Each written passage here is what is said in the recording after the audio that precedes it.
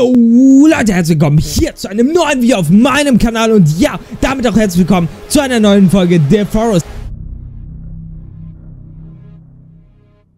Das Ganze ist hier vorproduziert. Das heißt, ich bin nächste Woche nämlich nicht da. Ich muss ein bisschen was vorproduzieren. Das heißt, es könnte auch sein, dass ihr mehrere Folgen der Forest bekommt. Ich versuche auch noch andere Spiele rauszufinden. Aber das Ganze muss natürlich sein, weil ich ja ein bisschen vorproduzieren muss, weil ich mich auf Klassenfahrt fahre. So, einfach mal zusammengefasst. Und zwar hatten wir einen Livestream. Es war so, dass ich insgesamt drei Livestreams gemacht habe. Wer das nicht mitbekommen, also wirklich alle drei nicht mitbekommen hat, äh, ist überhaupt kein Problem. Auf Twitch könnt ihr das Ganze nachgucken. Das verlinke ich euch unten auf jeden Fall nochmal in der Videobeschreibung. Und ihr könnt das Best-of auch nochmal sehen. Das ist ein bisschen zusammengefasst. Sehr lustige Szenen. Also das war auch im Grunde schon der ganze, Li oder die ganzen Livestreams äh, zusammengefasst. Wir haben so ein paar Sachen gefunden. Wir haben zum Beispiel das Katana gefunden. Wir haben hier ganz viel Holz gesammelt. Wir haben die Base ein bisschen weitergemacht. Also es ist wirklich sehr, sehr viel passiert und es ist wirklich sehr, sehr cool. Und zwar, Leute, ja, ich hatte eben eine Aufnahme und zwar ist das so Problem, dass da die Soundqualität ein bisschen abgesackt war und zwar einfach aus dem Grund, weil eine falsche Audioeinstellung war. Fragt mich nicht, warum da eine falsche Einstellung war. Es ist immer so gewesen, dachte ich jedenfalls, so wie immer. Und inzwischen ist alles wieder vernünftig. Der Ton müsste jetzt wirklich richtig gut klingen. Also auf jeden Fall, äh, ja, so wie ihr mich einfach kennt. So. Und äh, wie gesagt, das Problem ist, ich hatte eben eine Aufnahme. Und da sind mir ein paar Kannibalen entgegengekommen und ich habe ein bisschen Knochenrüstung gemacht. Nur, dass ihr auf dem Stand der Dinge seid. Es ist nicht wirklich viel passiert, aber es ist was passiert und ich möchte euch gerne informieren. Ja, im Livestream, wie gesagt, haben wir auch ganz viel gemacht. Äh, wir haben hier die Wegpunkte gesetzt. Einmal glaube ich, lasst mich kurz äh, überlegen, da müsste das Flugzeug sein und da das Cockpit. Nee, da ist das Flugzeug bei dem Lilanen und da ist das Cockpit. Das ist ziemlich mittig. Äh, also es ist ein sehr zentraler Punkt, genauso wie dieses Loch. Da werden wir auf jeden Fall auch nochmal hingehen und werden auch nochmal einen Wegpunkt machen. Und zwar sind das sehr zentrale Punkte. Das heißt, wenn man irgendwas sucht oder wie auch immer, kann man auf jeden Fall den Weg wiederfinden und beziehungsweise man kann von da aus wieder nach Hause finden, obwohl wir hier das Haus auch gekennzeichnet haben. Wir werden noch ein bisschen mehr als nur eine Hütte bauen und deswegen ist das Ganze auch nicht so schlimm, wenn wir es nicht gemarkert hätten. So Leute, ja, hier sind mir die ganzen Kannibalen entgegengekommen. Hier haben wir auch wirklich ganz, ganz viele getötet. Und was wir auf jeden Fall noch gefunden haben, das war der Top. Es ist so gewesen, wie gesagt, die Aufnahme ist leider in einer etwas schlechteren Qualität, als ich dachte. Und deswegen möchte ich das Ganze nicht hochladen. Ihr wisst selber, wie ich zur Qualität stehe. Ich möchte mindestens mindestens Full HD und einigermaßen Audioqualität. Das ist mindestens. So, inzwischen habe ich das so, dass ich in 1080p aufnehme und auch in 60 Frames pro Sekunde. Das heißt, es ist auf jeden Fall so auf YouTube, dass ihr wirklich Full HD habt und 60 Frames, also 60 Bilder pro Sekunde. Ich habe den Topf nämlich vorhin gefunden. Das wollte ich euch mal zeigen. Hier den Topf, wenn ich den jetzt nehme. Ihr seht, dass der immer wieder rausfällt. Ich habe hier nämlich den Topf nämlich schon gefunden. Nur, dass ihr jetzt aktuell auf dem Stand der Dinge seid. Und wirklich viel mehr ist auch nicht passiert. Also, äh, wie gesagt, wir haben noch Knochenrüstung gemacht. Das hat ein bisschen länger gedauert. Äh, das ist auch so die hauptsächliche Folge gewesen. Ich möchte eigentlich gerne, wenn wir das schaffen, möchte die Knochenrüstung eigentlich gerne anziehen. Und schon mal Ah, wir verhungern. Das heißt, wir sollten vielleicht ein bisschen was essen. Da essen wir auch was. Wir trinken noch ein bisschen was. So, alles ist wieder im grünen Bereich. Also richtig top ist das. Und... Ja, eigentlich hatten wir auch noch eine Schildkröte gefangen. Genau hier eine Schildkröte für den letzten Teller, den wir noch brauchen. Also für den letzten, äh, das letzte Auffangbecken. Was wollte ich heute machen? Genau, ich weiß es eigentlich gar nicht so genau, was ich machen wollte. Ich möchte eigentlich gerne so ein bisschen die Map erkunden und wollte auch dieses Loch gerne finden. Das heißt, dass wir da auf jeden Fall einen Wegpunkt setzen und dann auch wissen, wo das ist, weil da soll nämlich Timmy drin sein. Inzwischen habe ich in Erfahrung gebracht, dass Timmy noch nicht zu finden ist. Also Timmy ist im Spiel drin, das schon. Timmy bekommt man aber nur, wenn man im Grunde Hex verwendet. Das heißt, wenn man sich durch eine, durch eine Wand durchglitscht, dann findet man auf jeden Fall Timmy. Das heißt, Timmy ist auf jeden Fall vorhanden, ist aber im regulären Spiel noch nicht möglich, ihn zu finden. Nur, dass ihr auf dem aktuellen Stand der Dinge seid, Es soll aber in zukünftigen Versionen wirklich besser sein. Was auf jeden Fall besser ist, in dieser Version, wir haben ja im Livestream, haben wir ja die Version ausprobiert. Die 046, also 046, die haben wir ausprobiert und es sind sehr, sehr viele Sachen neu. Also es hat sich wirklich viel verbessert. Wirklich richtig, richtig nice ist das. Und was sich noch verbessert hat, die Kannibalen sind ein bisschen stärker geworden und es sind wesentlich mehr geworden. Alle, die im Livestream drin waren, können das auf jeden Fall bestätigen. Es waren wirklich Unmengen an Kannibalen. Also es waren Unmengen, es ist unglaublich. Ihr seht in dem Best-of, seht ihr eine Szene, wo ich fast am Sterben bin und das ist nämlich auch der Grund,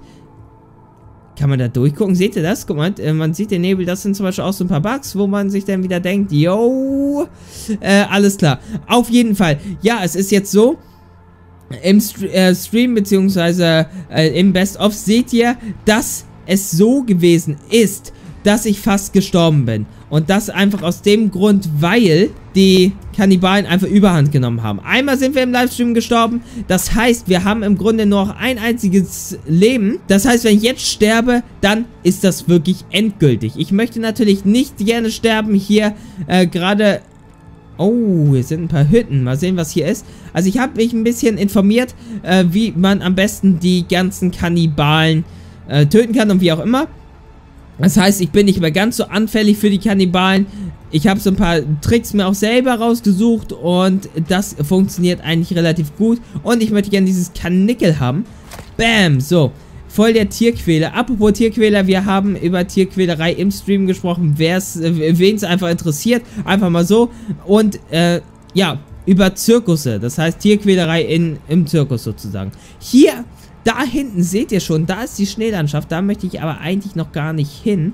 Hier können wir auch speichern, nur so zur Randinfo. So, wenn wir das Ganze also nicht schaffen sollten, zurückzukommen, können wir da auf jeden Fall speichern und schlafen. Also, was ich machen wollte, da hinten sind auf jeden Fall die Schneeberge, das habe ich euch eben erzählt.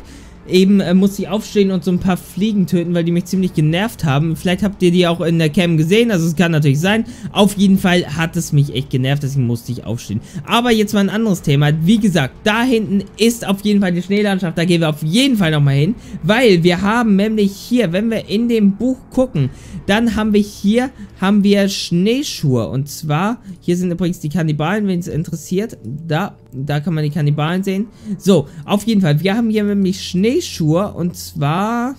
Da, da haben wir Snowshoes und die werden wir auf jeden Fall machen, wenn wir in das Schneegebiet gehen, beziehungsweise wir müssen uns aus verschiedenen Fällen, das heißt, deswegen habe ich auch den Hasen getötet, hier aus den Rabbit also wir können so Rabbit Shoes machen und die halten uns auf jeden Fall warm. Das ist natürlich richtig, richtig nice. Klamotten an sich haben wir, glaube ich, gar nicht so. Wir haben leider nur die Knochenrüstung, jedenfalls hier. Das finde ich aber richtig cool, dass hier überhaupt Crafting-Rezepte sind. Wie gesagt, das ist im Grunde wie Minecraft, nur halt für Erwachsene. Ich vergleiche es immer wieder gern damit, weil es ist, ist einfach irgendwie wie Minecraft. Man kann Sachen bauen, natürlich ein bisschen dezenter, das ist klar. Irgendwie nicht Block für Block, man kann noch nicht ganz so kreativ sein. Es ist aber eine Alpha-Version. Stellt euch das mal vor, wirklich in der Beta-Version oder sogar in der Vollversion. Das ist ja schon in der Alpha-Version richtig geil, das Spiel. Das muss man ja wirklich sagen. In der Alpha-Version ist es schon richtig, richtig cool. Und das war Minecraft auch. In der Alpha-Version, da hat man schon richtig gerne gespielt. Und auch in der Beta-Version.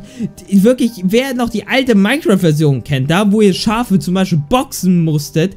Natürlich, als die Schafe eingefügt worden sind. Ganz früher gab es noch gar keine Schafe, nur für die Leute, die wissen wollen, wie Minecraft früher aussah. Es waren, also die erste Version waren zwei Blöcke. Es war Cobblestone und es war Gras. Mehr gab es einfach nicht. Das war so die erste Version und die Welt war auf jeden Fall begrenzt. Das heißt, du bist irgendwann runtergefallen. Das war im Grunde eine Scheibe. So. Sind hier noch irgendwo Kannibalen oder so? Hier ist auf jeden Fall das Loch. Wir haben das Loch gefunden. Richtig, richtig nice Sache. Und ja, ich werde mal einfach gucken. Ich gehe da auf den höchsten Punkt. Das sind eigentlich so die meisten YouTuber auch. Äh, oder allgemein, wenn Leute spielen, auf dem höchsten Punkt da hinten. Da sind die, die meisten. Beziehungsweise da hinten auch. Ich bin gerade mal überlegen, ob wir da hingehen oder da. Ich glaube, wir gehen dahin. Alles klar, hier sind Kannibalen. Habt ihr die eben gehört? Ich möchte den eigentlich noch gar nicht so richtig begegnen. So, irgendwie. Weil ich bin äh, genug Kannibalen im Stream begegnet und das hat mir fürs Erste auf jeden Fall gereicht. Also, wir machen heute auf jeden Fall den Wegpunkt bei diesem Loch. Das ist ganz, ganz wichtig. Und wie gesagt, eigentlich hätten wir noch die Knochenrüstung geschafft und eigentlich haben wir auch den Topf geschafft. Problem dabei ist, äh, ja, wie soll ich sagen, die Tonqualität ist einfach so schlecht. Ich möchte das Ganze einfach nicht hochladen. Es ist so ein Faktor, dass ich wirklich Qualität auf YouTube bieten möchte. Es ist so, dass ich so viele große, wirklich ein Thema, was ich jetzt zum Beispiel anschneide. Also, es gibt so viele große YouTuber, die haben die, das Geld, die haben die Möglichkeit und bieten den größten Scheiß auf YouTube. Wenn man so bedenkt, dass einige YouTuber richtig die Möglichkeit hätten, richtig, richtig, richtig geile Scheiße abzuliefern. Und dann ist das so, dass sie im Grunde die größte Ranzqualität abliefern. Das ist unglaublich. Wenn man zum Beispiel so Holly LP sieht, der schneidet, der arbeitet zum Beispiel mit Greenscreen. Apropos Greenscreen. Ihr seht hinten schon mal den Blue Screen und so ein bisschen äh, blau. Und ich möchte in der nächsten Zeit auf jeden Fall Greenscreen bzw. Bluescreen einfügen. Das heißt, hinter mir den ganzen Scheiß, den, der hinter mir ist, den seht ihr nachher gar nicht mehr. Und ja, das heißt, ich werde meine Qualität auch auf jeden Fall steigern. Apropos, was ich sagen wollte, genau, Holly LP zum Beispiel. Das ist so ein Typ, der wirklich, der hat nicht viele Abos. Der hat jetzt, glaube ich, 300.000, irgendwie so um den Dreh. Das ist nicht viel auf YouTube. Wenn ihr so bedenkt, was Apecrime hat oder wie auch immer. Gut, Apecrime bietet noch Qualität. Der, äh, der Inhalt der Videos ist nicht ganz so schön, aber die bieten auf jeden Fall noch Qualität. So.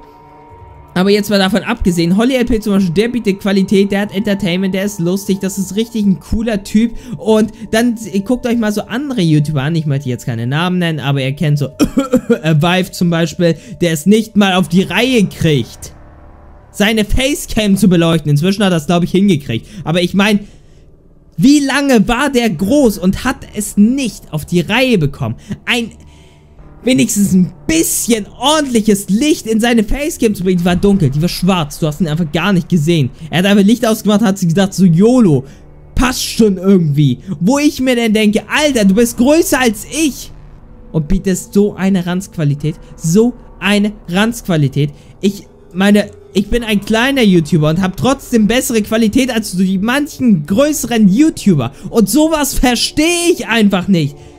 Das wäre eigentlich wieder so ein Thema für ein Laber-Video. Ich glaube, ich mache sogar ein Laber-Video darüber. Weil, sowas wie ne Nebelnik zum Beispiel, der wurde gepusht, gut. Aber, der macht zwar nicht unbedingt so die besten Videos, in, in Anführungsstrichen die besten Videos.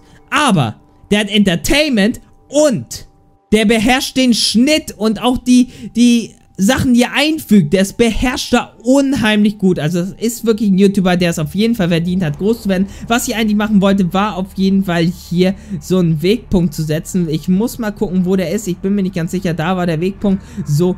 Nee, da war gar nicht der Wegpunkt. Was erzähle ich für Blödsinn? Nein, der Wegpunkt war irgendwo hier in der Nähe. Ich weiß es... Wo ist denn der Weg? Da ist der Wegpunkt. Okay, wir bauen hier auf jeden Fall einen Wegpunkt hin, dass wir auf jeden Fall wissen, wo wir hin müssen. Das Ganze ist sogar schon gebaut und wir machen das Ganze in einer, ja, wie soll ich sagen, was machen wir für eine Farbe? So, dann nehmen wir einfach dunkelschwarz. Dunkelschwarz. Okay, Spaß beiseite. Äh, die Leute, die mich im Stream gesehen haben, die wissen wirklich, wie ich richtig drauf bin. Ich mache einen Flachwitz nach dem anderen. Also es ist wirklich richtig, richtig lustig teilweise. Und wir haben das Loch gefunden. Das ist richtig, richtig geil. Und ja, ich würde sagen, ich laufe jetzt einfach nach Hause und beende das Video dann. So Leute, wie ich habe das irgendwie im Dunkeln geschafft, nach Hause zu kommen. Also ich habe ein paar Kannibalen gesehen, aber es war jetzt nicht irgendwie ein großer Kampf oder sonst irgendwas. Deswegen habe ich das Ganze nicht mit reingeschnitten. Ich würde sagen, wir haben auf jeden Fall richtig viel erreicht. Wir haben den Top. Wir haben einen Schildkröten Panzer für das letzte Auffüllbecken hier. Und zwar genau das. Und das ist fertig. Das ist richtig, richtig nice. Dann haben wir bestimmt noch ein paar Stöcker für das hier. Gut, nur ein Stock, aber ist nicht ganz so schlimm. Dann haben wir eine Knochenrüstung, die wir jetzt sogar angezogen haben, was richtig, richtig nice ist. Und wir haben eigentlich, ja, im Livestream, wie gesagt, das Katana gefunden und so ein paar andere Sachen. Wenn ihr sehen wollt, was im Livestream war, guckt auf jeden Fall unten bei Twitch. Und wenn ihr sehen wollt, äh, also das Ganze nur in Kurzfassung sehen wollt, dann guckt auf jeden Fall auf YouTube das Beste. Vielleicht guckt ihr sogar beides. Auf jeden Fall würde ich sagen, wenn dir das Video gefallen hat, gebt doch einfach mal einen Daumen nach oben. Und wenn du nichts mehr verpassen willst von The Forest oder meinen anderen Videos, dann kannst du hier unten auf jeden Fall abonnieren. Ciao, Leute!